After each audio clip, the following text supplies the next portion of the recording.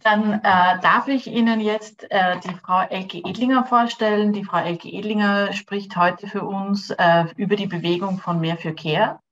Ähm, sie ist Teil dieser bundesweiten Koordinierungsgruppe von Mehr für Care, arbeitet beruflich auch an der Schnittstelle zu sozialen Bewegungen als Unternehmensberaterin für NGOs und hat nebenbei auch noch äh, etwas Erfahrung in der Politik als Kommunalpolitikerin in äh, Graz und wir freuen uns sehr, dass wir diese Bewegung, also die Vorstellung von Mehrverkehr für unsere äh, Reihe der sozialpädagogischen Blicke gewinnen konnten und bedanken uns jetzt schon sehr, sehr herzlich bei Frau Elke Edlinger und freuen uns auf Ihren Vortrag. Herzlichen Dank für die nette Einbegleitung. Ja, ich habe meinen Vortrag ähm, übertitelt mit Ohne Care-Arbeit steht alles still und ähm, gewähren Sie mir etwas Zeit dahingehend, dass ich erst später erkläre, warum ich diesen Titel ähm, verwendet äh, und ausgewählt habe. Mehr für Care ist ein breites, überparteiliches Bündnis äh, aus verschiedensten Organisationen, ich erkläre das alles noch näher, und engagierten Einzelpersonen. Äh, und wir setzen uns, wie es der Name ja in Wirklichkeit schon aussagt, für ein vielfältiges Mehr für Care äh, ein. Mehr Zeit, mehr Geld, mehr Anerkennung, mehr Wertschätzung, mehr Rechte, mehr Gerechtigkeit. Also es lässt, lassen sich noch einige weitere Mehrs finden. Ähm, hier starte ich äh, mit einigen Fotos von unseren ersten Aktionen. Mehr Verkehr hat sich ja gegründet Anfang 2021, gibt es mittlerweile in verschiedenen Bundesländern. Und ähm, eine der ersten Aktivitäten war auch, den öffentlichen Raum einzunehmen für die Anliegen von Care. Äh, sie sehen sie hier auf den Fotos, zum Beispiel links oben, äh, unsere Forderungen symbolisch dargestellt äh, in drei Paketen. Wir haben Forderungen, die wir so übertitelt haben mit Zukunfts- und Bildungspaket.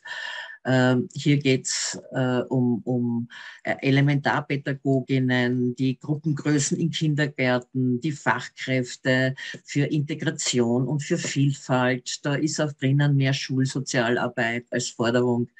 Ähm, aber auch die Frage Ganztagsschulplätze. Ähm, also alles, was so unter Zukunftsorientierung und Bildung zusammenzufassen äh, ist. Das zweite Paket, große Forderungspaket, da geht es um, um den Pflegebereich. Ähm, auch hier einfach bessere Rahmenbedingungen, bessere Arbeitsbedingungen, äh, mehr öffentliche Investitionen in die Pflege äh, und vor allem eine durch die öffentliche Hand oder gemeinnützige äh, Unternehmungen erbrachte Pflegedienstleistungen, äh, so nach dem Stichwort kein Profit mit unserer Gesundheit. Und der dritte Bereich ist, das haben wir so genannt, Solidaritäts- und Lebensrettungspaket. Hier sind auch verschiedenste unserer Forderungen subsumiert. Ähm, da geht es auch um Fragen gerechter Verteilung von unbezahlter Sorgearbeit. Ähm, mehr Geld für Gewaltschutz, äh, aber auch zum Beispiel die Frage Höhe des Arbeitslosengeldes und wie hoch die Nettoersatzrate ist, äh, ist da äh, von den Forderungen her unter ähm, subsumiert.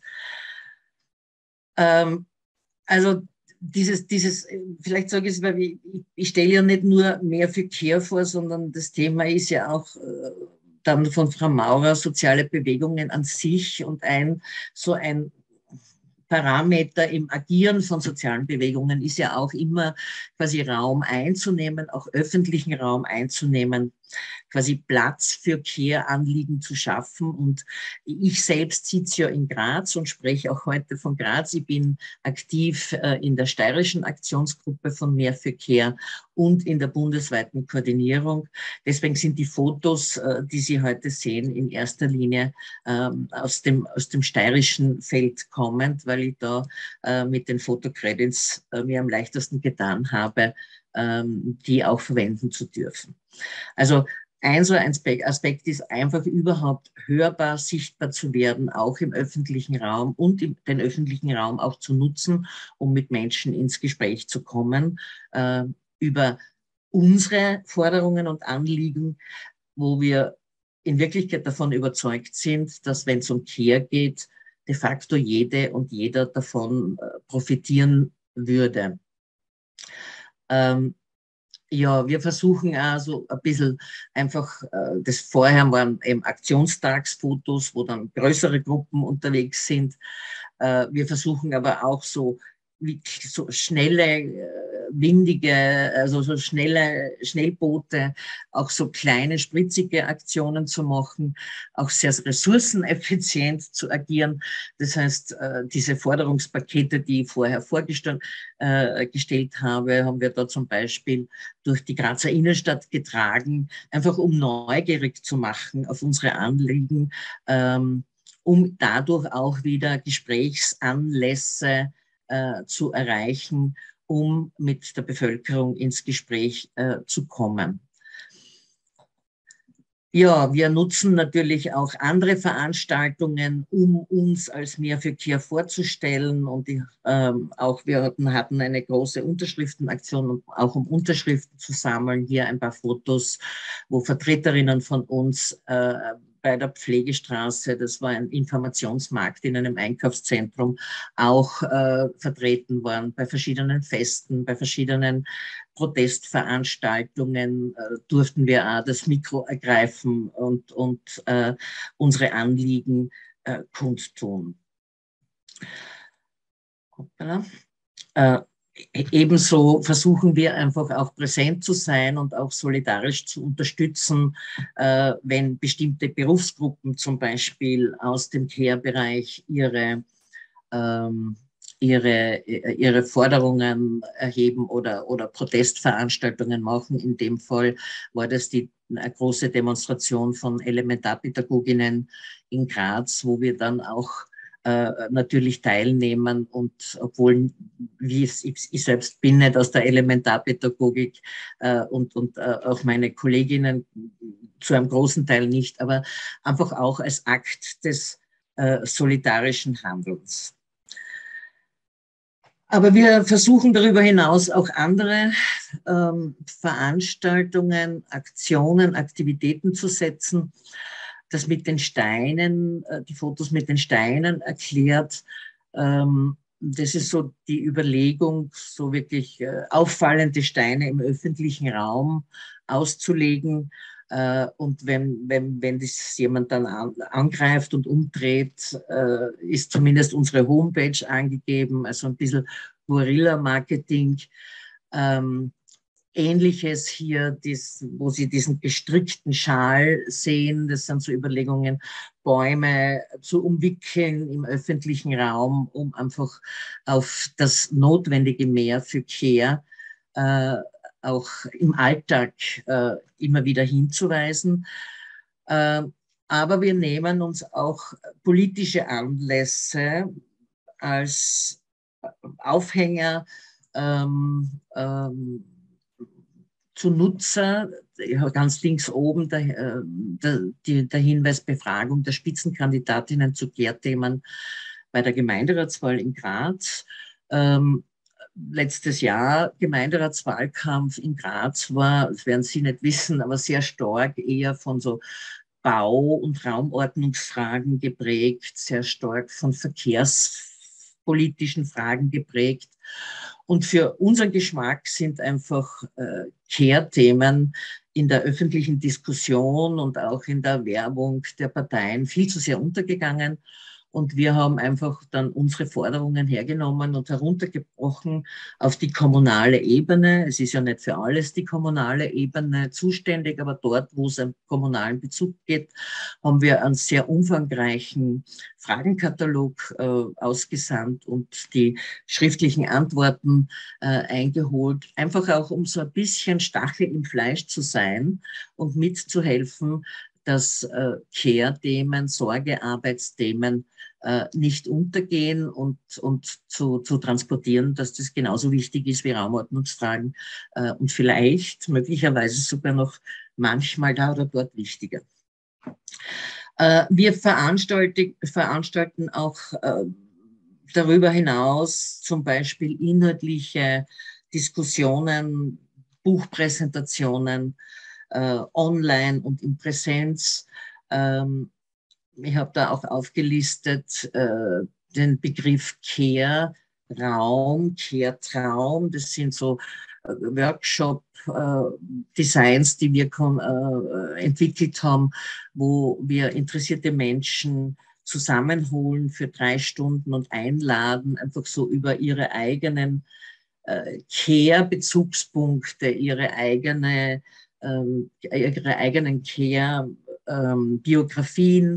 ähm, aber auch über möglicherweise ihr, ihre Überlastungen etc. sich auszutauschen und, und gemeinsam darüber auch ähm, nachzudenken und, und ein bisschen ins Träumen zu kommen, wie würde denn eine Gesellschaft ausschauen, wenn wir hier Sorgearbeiten wirklich ähm, nach unserem Geschmack äh, optimal erfüllen könnten, egal ob bezahlte oder unbezahlte Sorgearbeiten.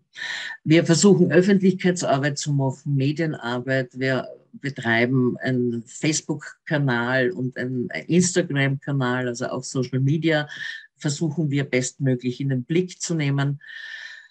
Ähm, wir, wir, wir veranstalten auch für uns äh, interne Arbeitstagungen, äh, Klausuren, äh, wo wir dann immer wieder so viertel- und halbjährlich schauen, wie haben wir uns weiterentwickelt und, und wo kann es hingehen. Wobei vielleicht an dieser Stelle auch schon an, äh, gehe dann später nochmal mit einer Folie auch drauf ein, ähm, wir, wir, also eigentlich 99,9 Prozent bei uns arbeiten ehrenamtlich und den meisten, die aktiv sind, ist ja auch sonst nicht Fahrt. Das heißt, wir versuchen auch da nicht so in herkömmliche alte Strukturen oder Verhaltensmuster zu verfallen. Dahingehend, das muss gemacht werden und das muss gemacht werden und das muss gemacht werden, weil wir halt glauben, so kann man sich politisch engagieren aus irgendwelchen alten Erfahrungswerten, sondern wir versuchen eben, und das sage ich jetzt beim Stichwort Klausuren, da auch immer wieder stark hinzuschauen, okay, wo, wo, wo spüren wir die Energie, ja, wo zieht es uns hin? Also es ist immer so ein bisschen ein Abwägen auch zwischen strategischem Vorgehen, aber vor allem auch Rücksichtnahme, so quasi, wo liegen die Interessen der Aktiven, ähm, äh, wer, wer will sich wo verstärkt einbringen. Das Stichwort Regionalisierung habe ich hier geschrieben, äh, kurz schon äh, äh angesprochen. Ähm, es gibt äh, mehr Verkehr bereits in mehreren Bundesländern, aber das Stichwort Regionalisierung ist für uns auch äh, in, äh, in äh, der Steiermark ein, äh, ein, eine Herausforderung. Wir sind momentan von, von der Gruppe unserer Aktiven äh, noch sehr stark äh, auf den Grazer Zentralraum auf den Großraum Graz konzentriert. Und das ist so ein wichtiges Vorhaben für uns, aber auch in die ländlichen Bezirke zu kommen, dort auch Regionalgruppen zu gründen, um hier bestmöglich zu vernetzen. Unser Netzwerk eben auszubauen, wobei nicht nur im Sinne von eigenen aktiven Personen, sondern auch äh, wir leisten sehr viel an Vernetzungsarbeit hin zu anderen Organisationen, äh, zu Kammern, äh, zu äh, Berufsgruppen, zu anderen engagierten Organisationen äh, der Zivilgesellschaft. Ähm, also auch das ist etwas, wo wir versuchen zu schauen, wo können wir gemeinsam etwas machen, wo können wir vielleicht auch gemeinsam mehr erreichen. Und der letzte Punkt, äh, auch bei noch so viel Liebe zu unserem Engagement brauchen wir Ressourcen, um Folder zu drucken und, äh, und gewisse Aktionen auch finanzieren zu können. Das heißt, Teil unserer Arbeit ist auch überhaupt, also nicht nur Mitarbeiterin im Sinne von menschlichen Ressourcen weiter auszubauen, sondern auch äh, Finanzierungen äh, immer wieder aufzustellen. Also in Wirklichkeit, ich komme, bin bei der Einleitung, Einleitung wurde es, äh, wurde es darauf hingewiesen, ich war ja früher äh, parteipolitisch in der Kommunalpolitik aktiv und äh, da gibt es ein ganz anderes Finanzierungssystem schon allein durch die öffentlichen Förderungen, die da äh, für Parteien da sind. Und ich, ich kann den Unterschied sehr wohl jetzt äh, äh sehr gut einschätzen, denke ich mir, aufgrund dieser alten Erfahrungen von mir. Äh, äh, und für mich ist es deswegen umso erstaunlicher, wie viel engagierte Menschen, die sich einfach zusammentun und die was bewegen wollen, erreichen können mit wie, mit wie wenig Mitteln. Ja, ähm, lassen Sie mir das nur aus meiner persönlichen Erfahrung einfach einbringen als Hinweis. Hoppala.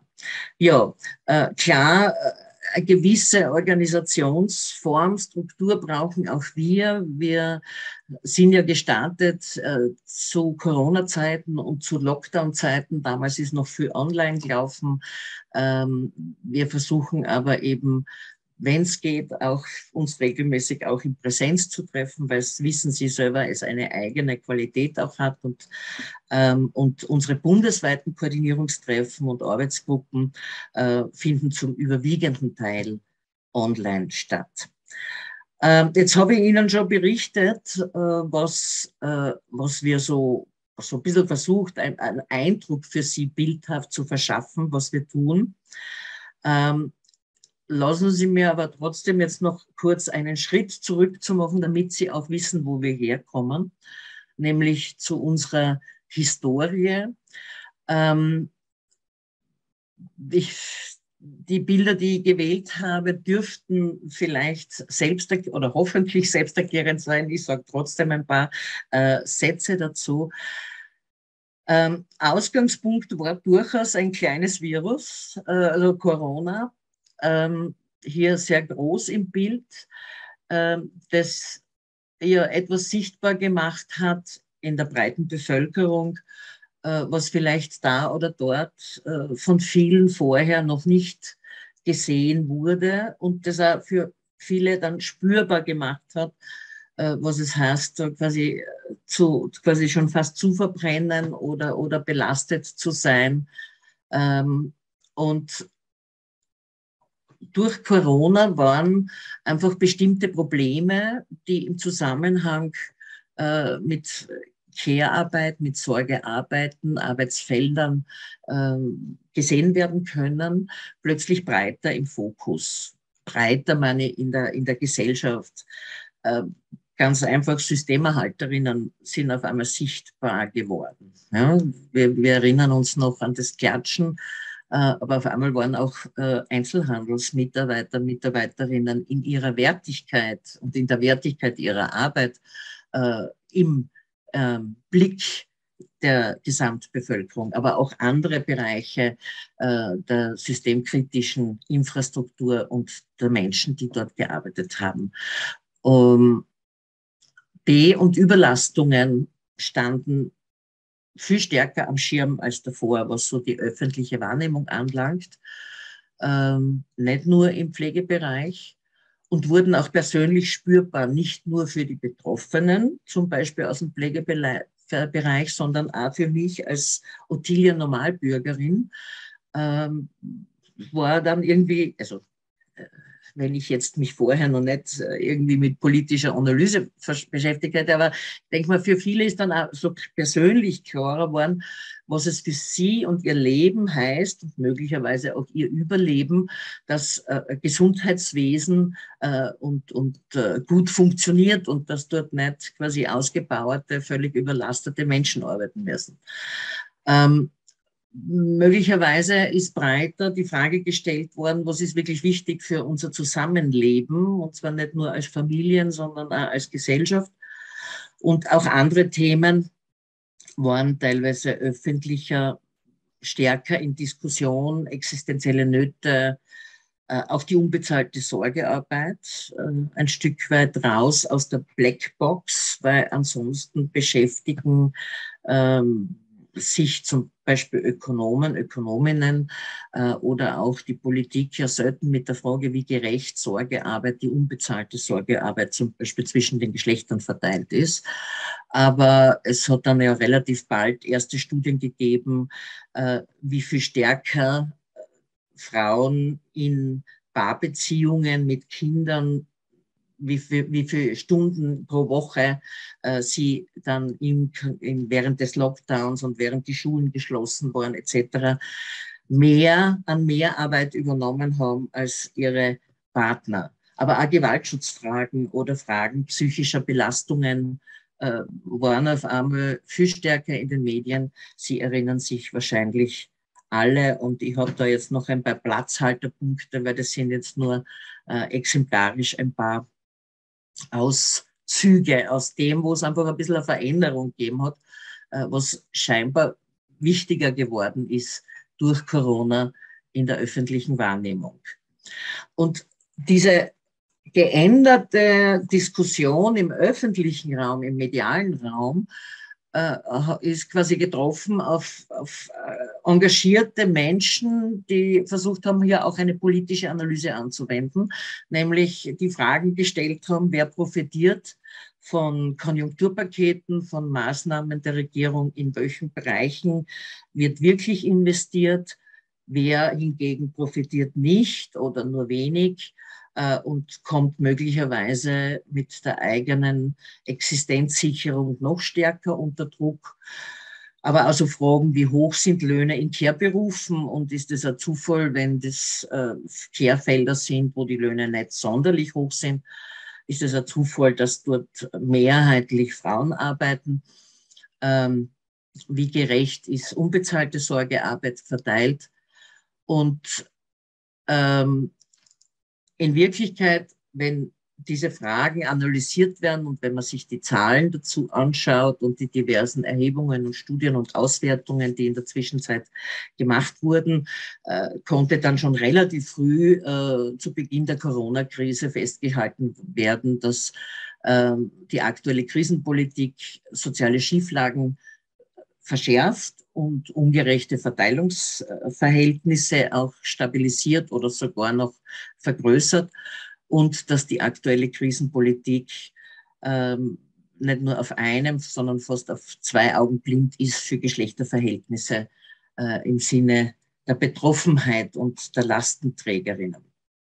Und jetzt sind wir quasi am, am Ausgangspunkt, am Startpunkt, am, am, am, Geburtsbett von Mehr für Care angelangt. Ähm, aus diesen Analysen hat eine Gruppe, die sich FEM Fiskal nennt, äh, das sind, äh, ist ein Zusammenschluss, ein Netzwerk äh, verschiedener Organisationen aus dem feministischen Bereich und ATTAC ist da auch dabei. Die haben ein feministisches Konjunkturpaket entwickelt, um hier etwas entgegenzuhalten, um einzufordern, dass diese ungerechten Verteilungsfragen besser und anders gelöst werden. Ähm, und haben dann äh, ein Forderungspaket eben entwickelt. Dieses feministische Konjunkturpaket macht in Summe 12 Milliarden aus die Pakete habe ich vorher schon anhand der, der Fotos äh, äh, äh, ein bisschen versucht zu skizzieren, um welche Lebensbereiche es hier geht.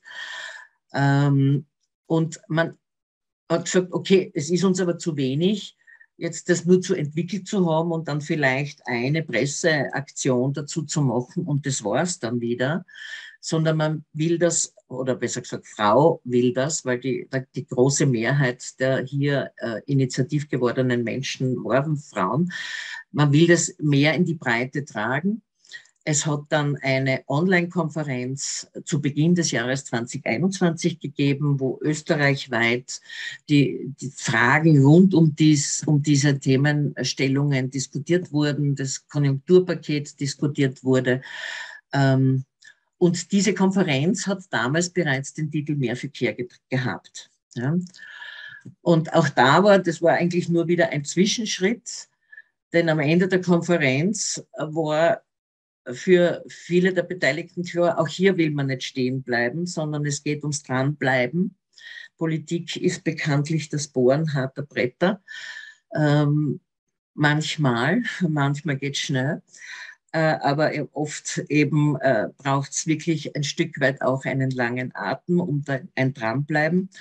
Und äh, aus dem hat sich dann mehr für Care, Wirtschaften fürs Leben entwickelt, was so wie es uns heute gibt, ähm, nämlich ein breites überparteiliches Bündnis eben von verschiedensten Organisationen quer durchs Land.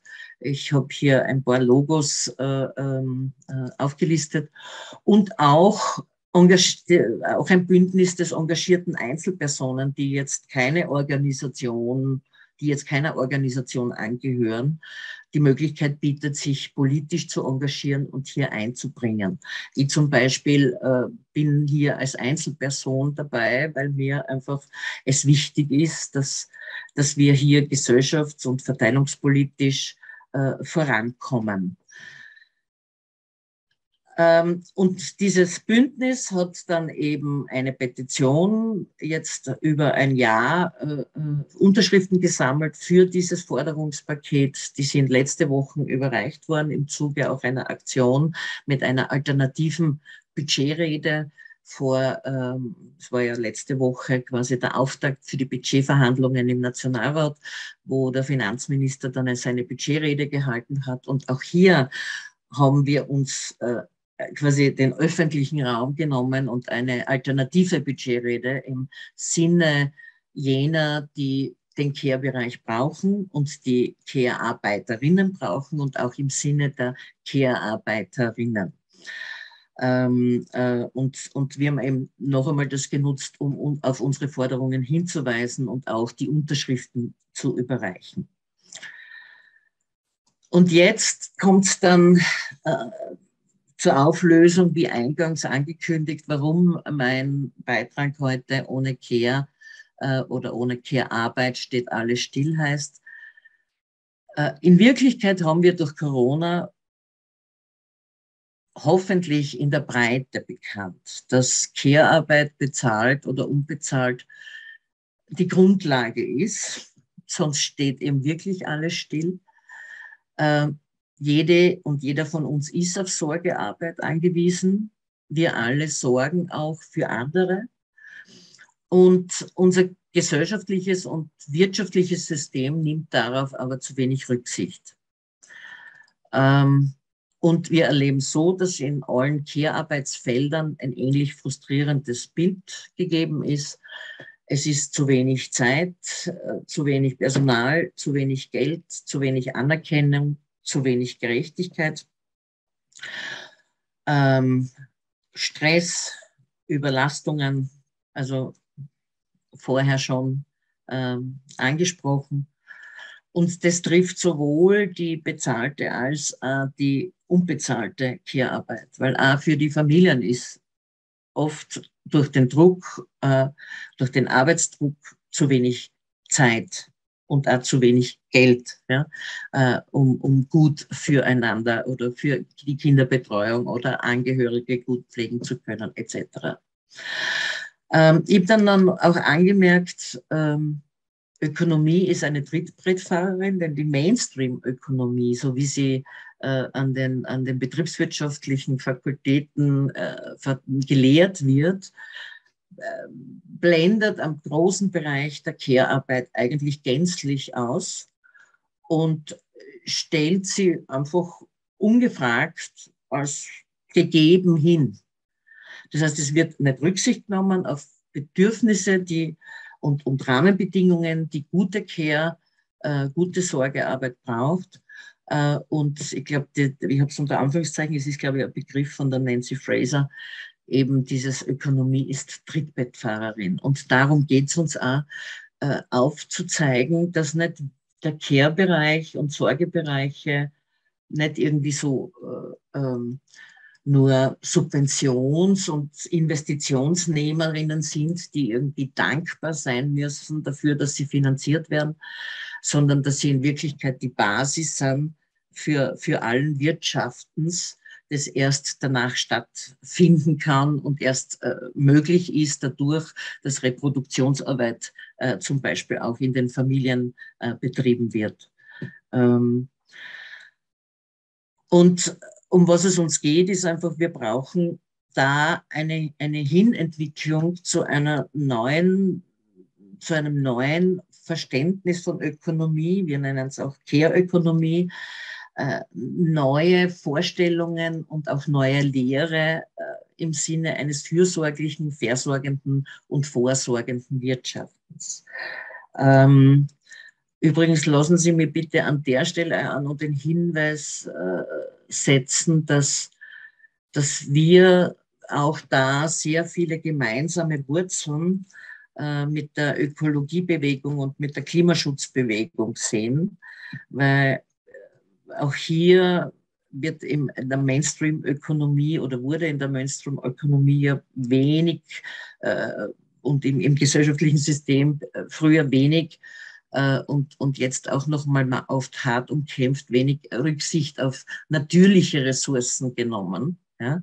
Äh, und wir sehen es im Care-Bereich so, dass man hier äh, im vorherrschenden System zu wenig Rücksicht auf menschliche Ressourcen äh, nimmt. Wie viel ist den Menschen zumutbar? Was kann man den Menschen noch zusätzlich umhängen? Und wir sind einfach nicht bereit hinzunehmen, äh, schon gar nicht, dass das so getan wird, dass quasi die Ressource, äh, äh, vor allem die Ressourcen auch von Frauen, eine unerschöpfliche äh, Quelle wären. Ja? Ähm, da, das wollen wir nicht mehr. Ähm, und da noch eine Folie für Sie, jetzt äh, einfach eher so aus der, aus der Forschung äh, über soziale Bewegungen vielleicht auch interessant und für diejenigen, die, ähm, die, die da in, in dieser Richtung auch immer wieder mal sich beschäftigen oder etwas dazu lesen. Ein paar so Punkte, die, die zusammengefasst habe, was für uns jetzt aufgrund dieser fast zweijährigen äh, Erfahrung irgendwie so äh, sich feststellen lässt, was sind so spezifische Herausforderungen, die wir in unseren aktiven Tun wahrnehmen und dass sie aber gleichzeitig auch Chancen sind. Ja. Einerseits Care als Begriff ist in, noch nicht breit eingeführt ist unsere Wahrnehmung in, in Österreich. Bei Ihnen wird es was anderes sein.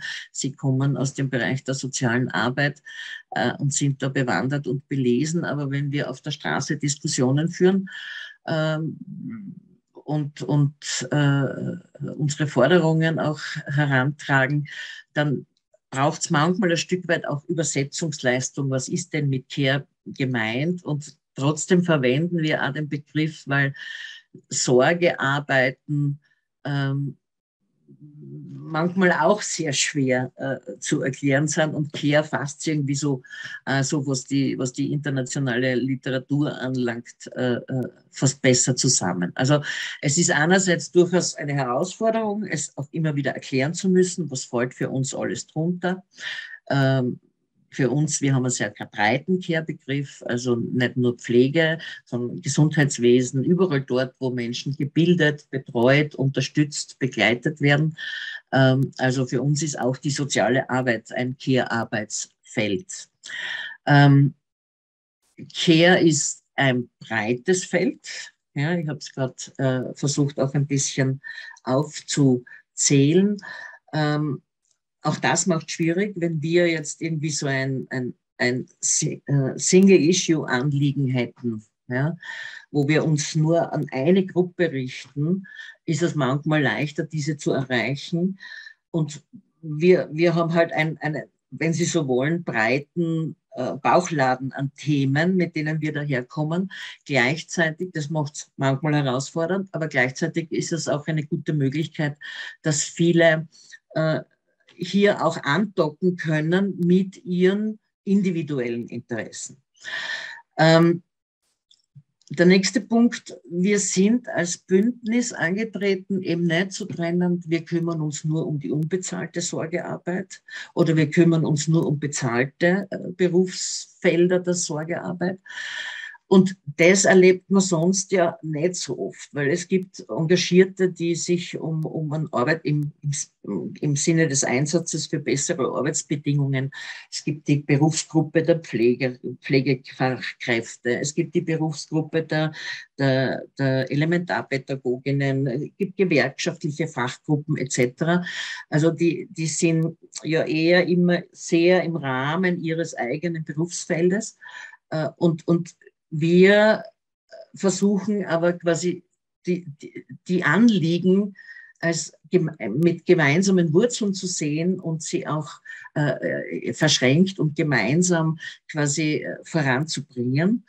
Und das ist manchmal fordernd und gleichzeitig auch toll, weil, weil bei uns ein, ein Raum entsteht, wo eben verschiedene Berufsgruppen und jene, die sich eben als, als, als äh, Privatsorge Verantwortliche herausgefordert äh, sehen, wo die zusammenkommen können und auch gemeinsam politisch sich engagieren können.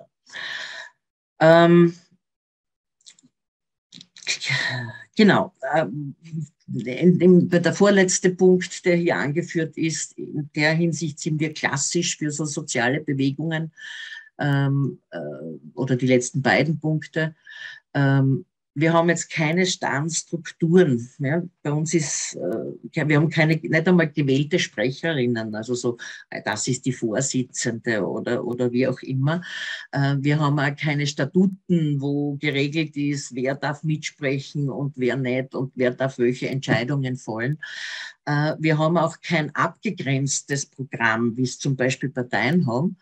Das macht es manchmal im Tun, herausfordernd, aber auf der anderen Seite äh, erlebe ich es durchaus als total befruchtend, äh, hier einfach immer wieder auch auf der Metaebene drauf zu schauen, okay, wo stehen wir und, und wie kommen wir da zu guten Lösungen. Und wir schaffen es. Ja? Ich bin auch da vielleicht kurz der Vergleich zu dem, äh, was äh, was ich, wie ich es früher in der Parteipolitik auf der kommunalen Ebene auch erlebt habe.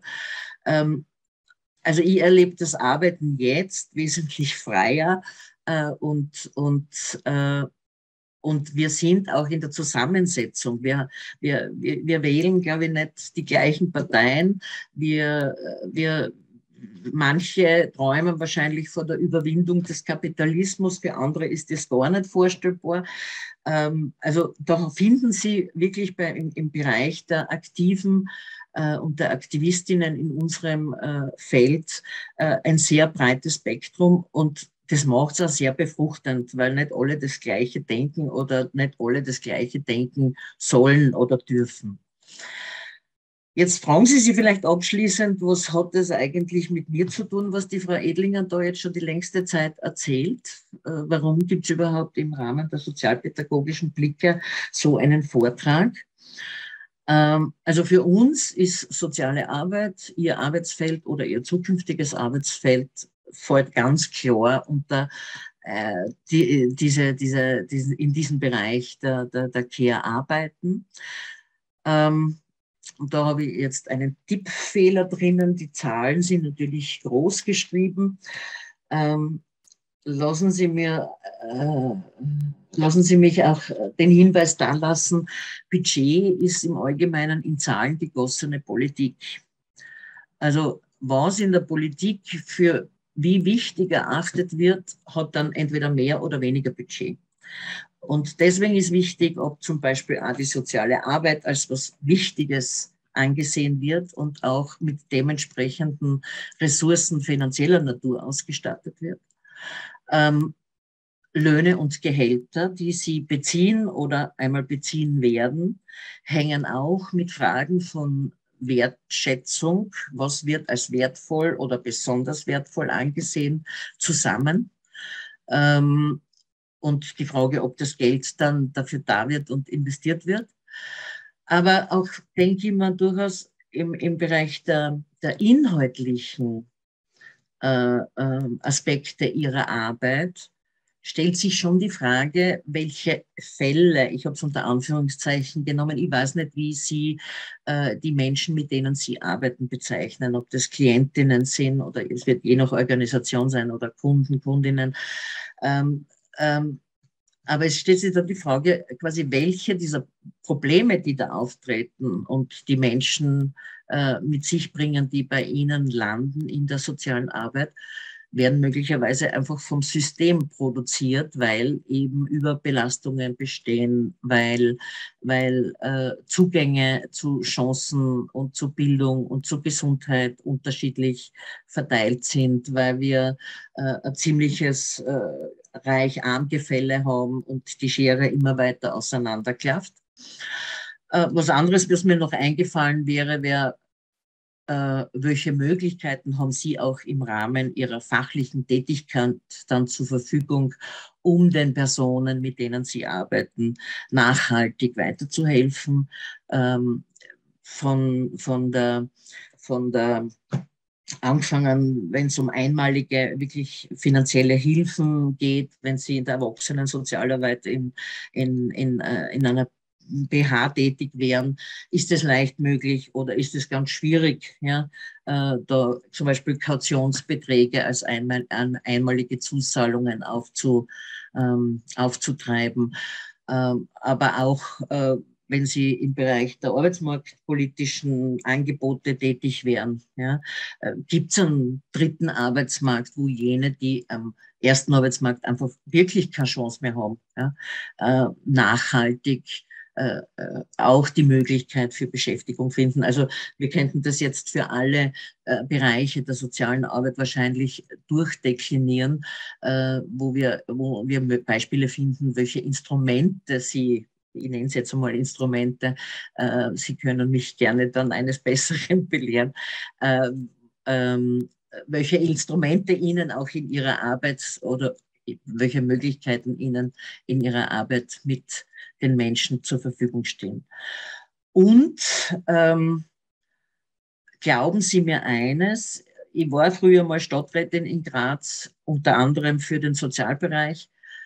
Und da ist mir, also war für mich sowas von offensichtlich, ich bin als Politikerin damals auf die Expertise von den Praktikerinnen in den verschiedenen sozialen Feldern angewiesen gewesen. Und gerade auch auf die Expertise jener Personen aus der sozialen Arbeit, da habe ich Input gekriegt, äh, äh, dahingehend, was braucht's noch? Ja, welche Modelle gibt's woanders schon, etc. Ja. Überschätzen Sie nicht die, die, den inhaltlichen Diskurs innerhalb dieses Systems Politik und seien Sie sich dessen bewusst, äh, dass es genau Ihre Expertise ist, die den Unterschied ausmachen kann, äh, ob äh, im politischen Feld dann etwas wirklich Essentielles beschlossen wird, äh, im Sinne eines besseren äh, Lebens für möglichst viele. Also rückblickend zu mehr Verkehr gesagt, wir sind ganz schön gewachsen und wir wachsen weiter. Wir freuen uns auch, äh, wenn Sie Interesse haben, sich einzubringen. Unsere Wahrnehmung ist von den Gesprächen mit der Bevölkerung auf der Straße, bei Aktionen, die Resonanz ist einfach gut. Es gibt ein, sehr natürliches Gespür auch dafür, dass so wie das läuft in unserer Gesellschaft, äh, es viele Ungerechtigkeiten gibt. Der Zuspruch ist groß und die Zeit ist wirklich reif für ein Mehr für Care.